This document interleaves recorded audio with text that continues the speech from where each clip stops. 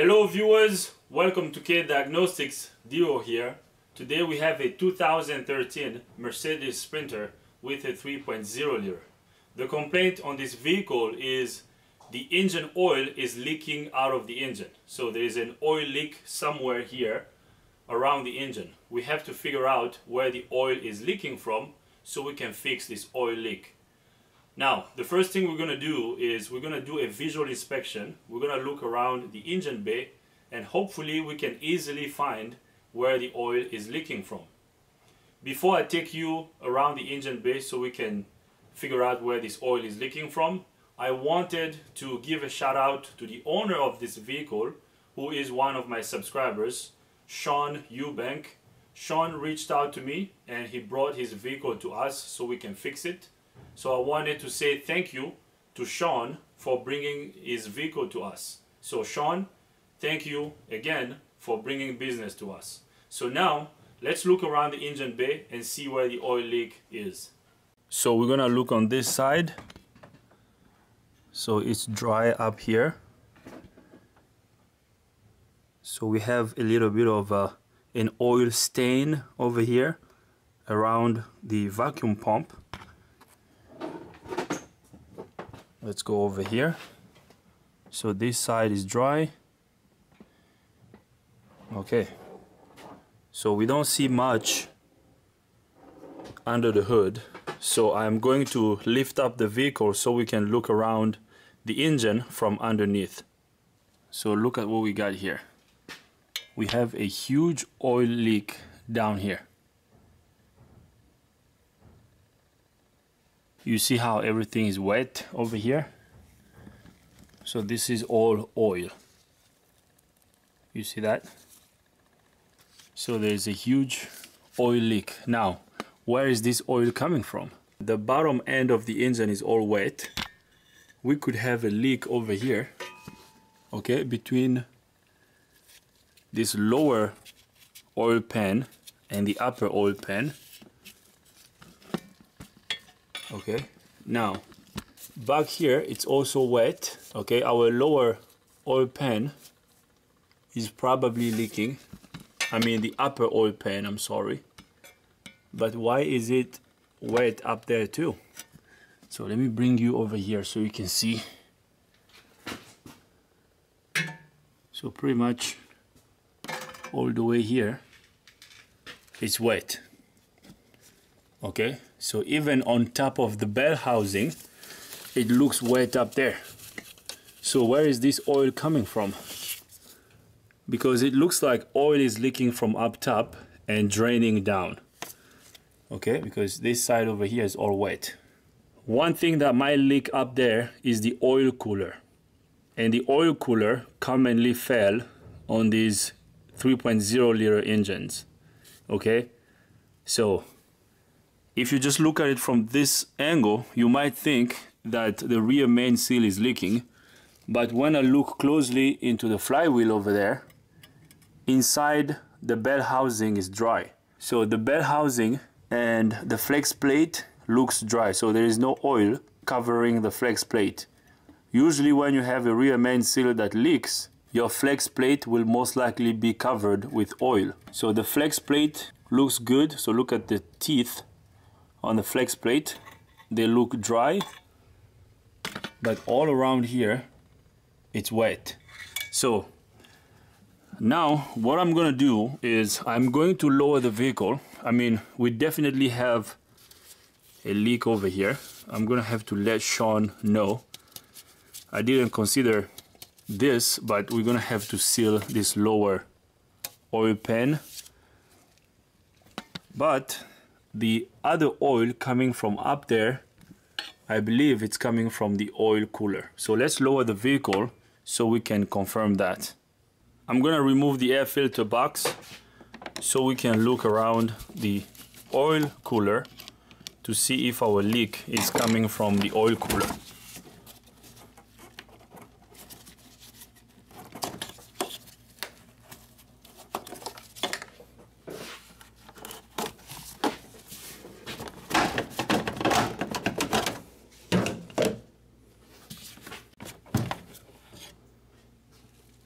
So the oil cooler is going to be somewhere over here behind the filter. So let's remove this tube.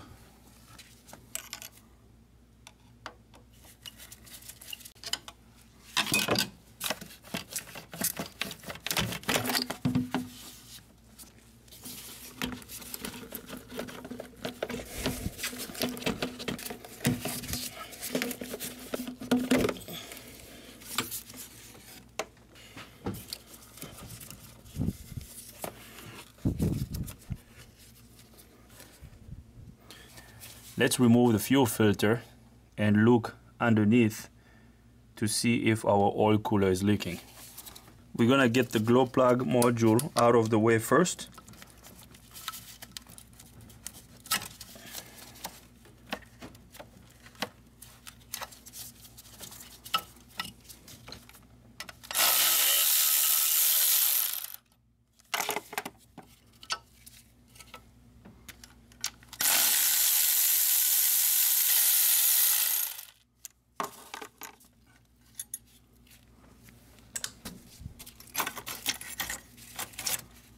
So now we're gonna disconnect this fuel heater electrical connector here.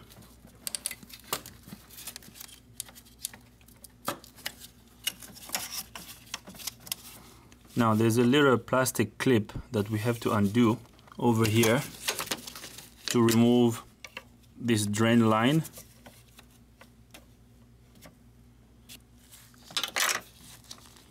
So here is the little plastic clip that are removed from here. So now we can disconnect this line. So just like that.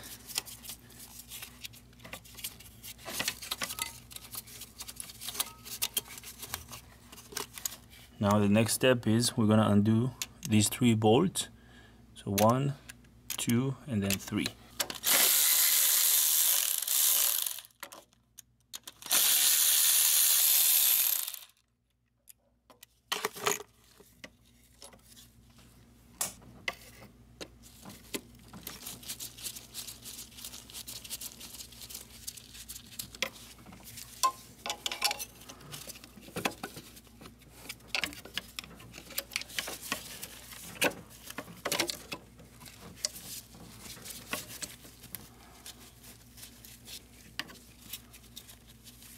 So I'm putting the sharp rag in this hose to prevent any dirt or contaminants to enter in this hose. Okay, so these few hose, I'm covering them. Okay, so now our fuel filter should be able to come out. So now I'm just gonna lift it up. Okay, so here comes the fuel filter okay so we're gonna get it out of the way. So now we can look inside here and see what we got. So we have a leak over here on our oil cooler. I'm gonna show you inside here so you can see.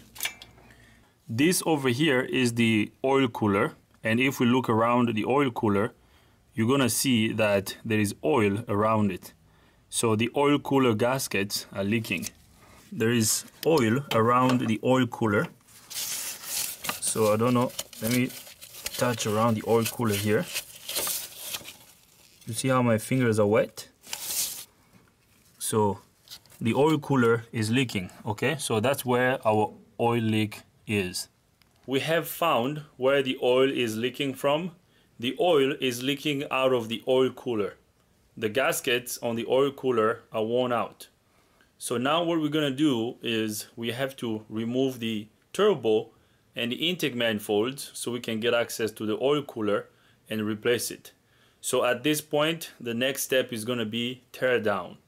I'm gonna show you what components we're gonna remove so we can get this oil cooler replaced.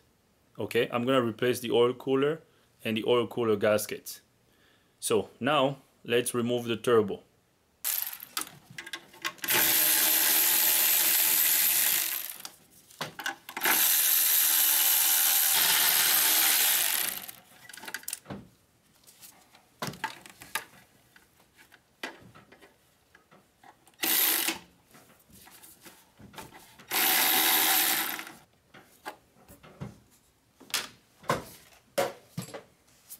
So I got all the bolts for the turbo shield removed.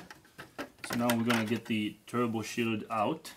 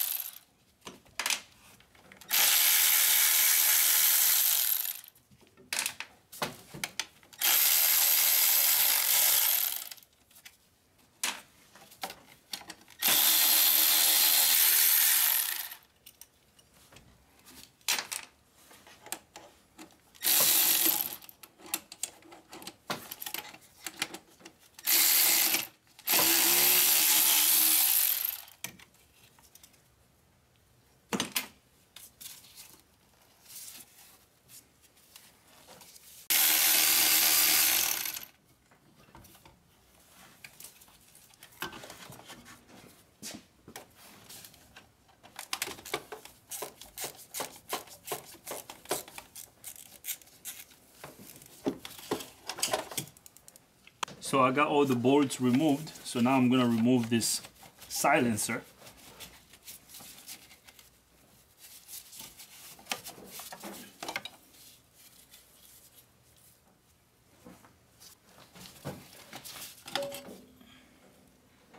Now I'm gonna show you what I'm gonna remove back here. I'm gonna remove the turbo bolt. We're gonna remove the downpipe of the turbo and after that I'm gonna undo all the exhaust pipes over here. And after that the turbo is gonna come out.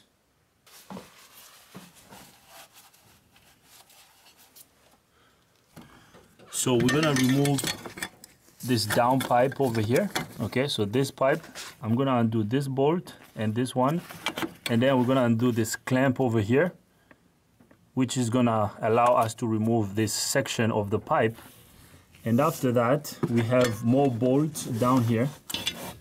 You see those bolts? So those three bolts have to come out. So these three bolts connect the lower manifold of the turbo to the exhaust manifold on the driver's side. And then we have the same three bolts over here on the passenger side.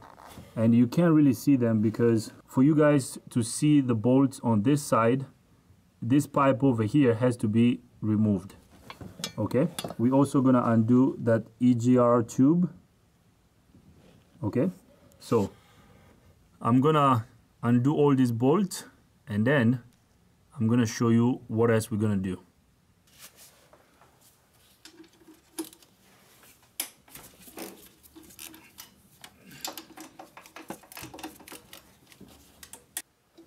So here comes the top portion of the downpipe of the turbo. Okay, so we're gonna get it out of the way. So now let's see what we have here. Okay, so now I'm gonna undo all these bolts over here so that we can remove the turbo.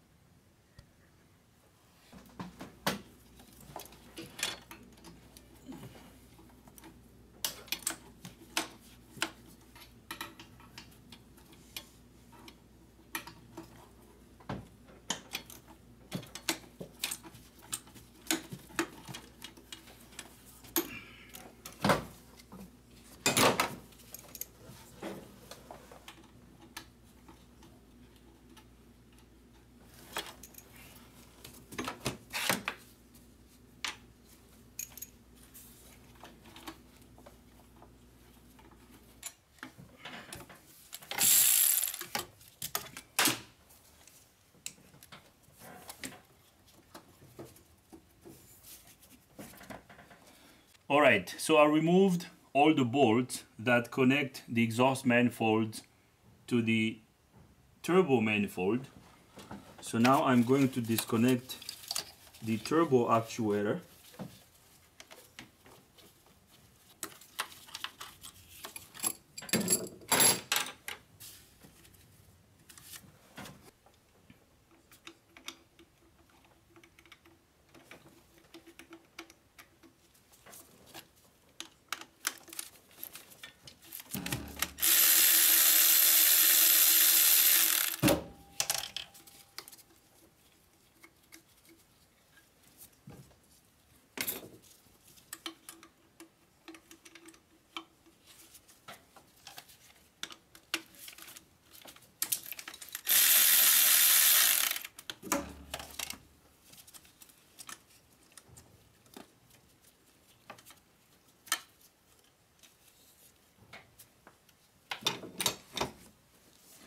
Alright, so I got all the bolts that hold the turbo down. So now we're gonna lift the turbo up.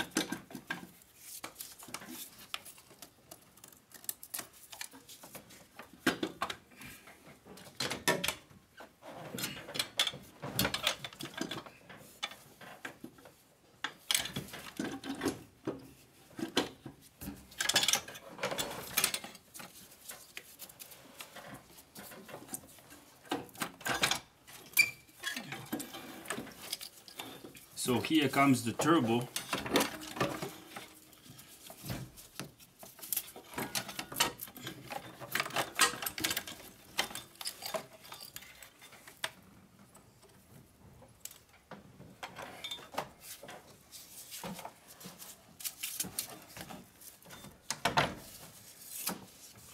So I'm gonna put the turbo over here so I can show you the bolts that are removed. So here is what I was undoing on the back of the turbo. So the first thing I did was removing these three bolts over here that hold the downpipe to the back of the turbo. So I undid these three bolts.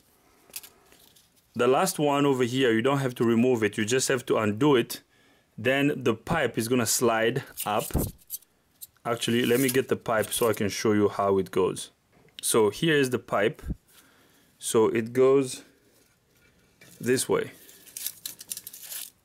Okay, now this, you see how this one over here has just a slide. So it slides in like this.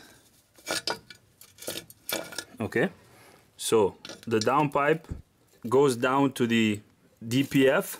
The good thing is on these 2013s, they have put this little section over here. So this section can be removed from the downpipe, which is good because on the 2007 and 2008 on the other sprinters, you have to pretty much remove the DPF or lower the DPF to get this exhaust pipe out of the way.